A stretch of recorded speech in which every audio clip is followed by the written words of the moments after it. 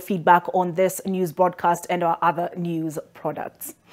Tonight, former President Uhuru Kenyatta's technical advisor, Mutahi Ngunyi, has lifted the lid on the goings-on at State House in the months of heightened campaigns against William Ruto, who was by then only a hopeful deputy president eyeing the top seat. Ngunyi, who only four days ago declared to have shifted camp to Ruto's Kenya Kwanza, says that so deliberate were the efforts that at some point they financed Roots party leader George Wajackoyah's manifesto launch to reduce the hype on Ruto's.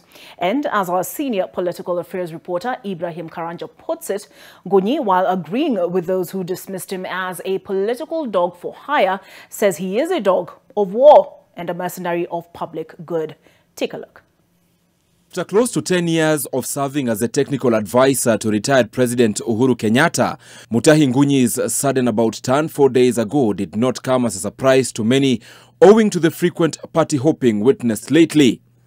But in Ngunyi's crossover, the curtains are being drawn, giving Kenyans a clear view of what was happening in their time of basking in the presidential glory. Ngunyi says that his support for Azimio leader Raila Odinga was a coercion, especially after his idea, initially aimed at propelling Ruto to power, the hustler versus dynasty narrative, sent a scare to the fourth president. Uhuru's argument was that uh, this will end up hurting some of us. And I said, in any case, you will not be running for president. What's the problem with it? Uh, let us do it and at least propel uh, your deputy into office. But when I did that, I was um, actually asked to stop. At some point, I would want to reveal that my accounts were frozen two times.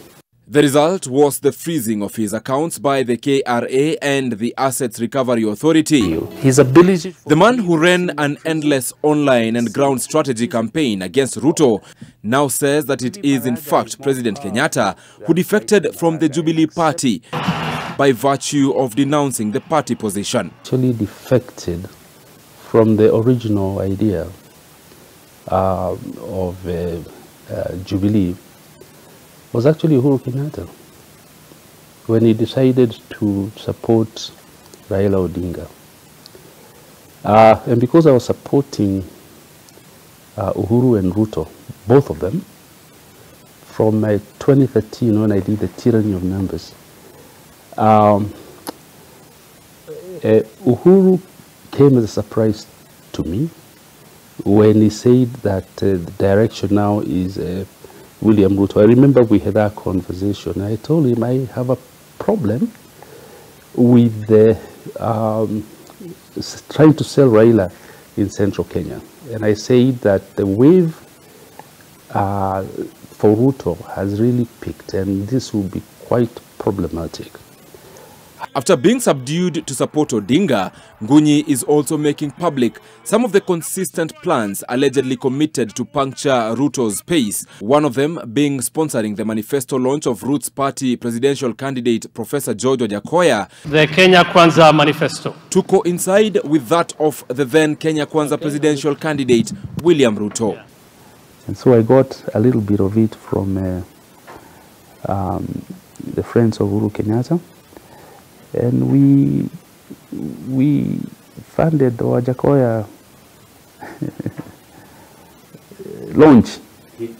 And, and the way we did it is that we, uh, we, we, we wanted it to be launched on the same day that Ruto was doing his launch.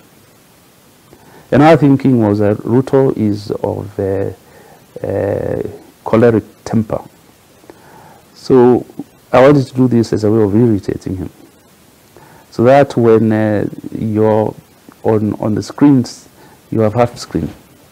Wajackoyah speaking here and Ruto speaking here. And that's exactly what happened.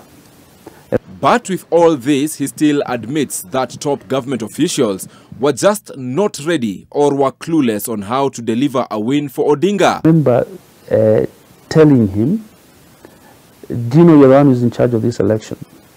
And running it. You know, you're the one who is in charge of ensuring that we have victory. But in the past, we had Kiambaa that we lost. We had uh, Juja that we lost. We cannot afford to lose this election on behalf of Uhuru Kenyatta. And uh, Kibicho tells me, who told you I'm in charge of this election? I have absolutely no role in it. Then I ask him, have you, do you have any connection with the, the Tinga uh, team, that is Raila team? And he says, I have absolutely no link. So I was one who was now giving him some links on how, how to begin work. And this is way into the thick of the campaign. So looking at that and wondering uh, uh, if you who runs a provincial administration, you're not in charge of this election, then who is? That William Ruto, then as deputy president, was a man under siege has been stated before. But Mutahi Ngunyi has painted the picture from an insider's perspective of the lengths the sidelining had gotten to. Things that used to disturb me a lot was the fact that uh, he used to use the same washroom as the rest of us, as deputy president. Well, as uh, the rest, some few people had the privilege of using different facilities. The chief of staff uh, and the head of public service has a, a washroom that is red carpeted with golden you know, uh, taps. Um, I used to ask myself, why wouldn't Ruto be allowed to use at least that facility? After his defection, which according to him is a journey back home, Ngunyi has been accused as being a political lapdog, an accusation he does not deny. I'm a dog of war for a mercenary for public good. You see, what has happened is that um, Uhuru Kenyatta has retired. William Ruto has been in power for one, um, one year now, almost. But Uhuru Kenyatta has refused to exit the stage. Yet he still faults Ruto's government for what he says is abandoning the hustlers narrative. According to Ngunyi, he has since asked for forgiveness from President Ruto and that he is working towards reconciling the current head of state with his predecessor. Well, call it moving with the tide or changing his minds in keeping with the facts.